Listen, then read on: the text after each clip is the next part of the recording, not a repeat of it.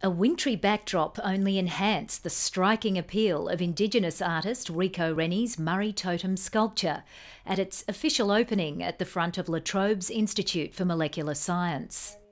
The four stunningly coloured columns took the artist a year to create and are a modern take on traditional Indigenous ceremonial poles.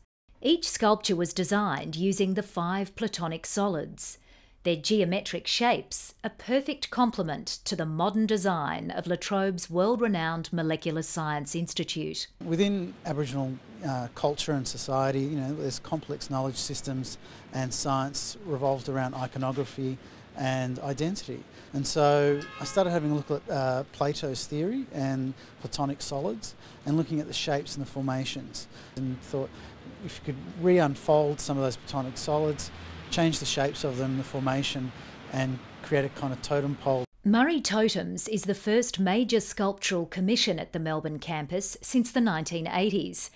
Vice Chancellor Professor John Dewar says the work blends science with Indigenous heritage. It was really important that we uh, make a statement about the university's commitment to Indigenous culture and to Indigenous art. This is, as far as we know, the only commissioned piece of sculpture by an Indigenous artist to be found in the north of Melbourne. So La Trobe is absolutely delighted to be yet again a, a, a first in, in this area as well. The sculpture is prompting much discussion about Indigenous culture, science and art amongst students and staff.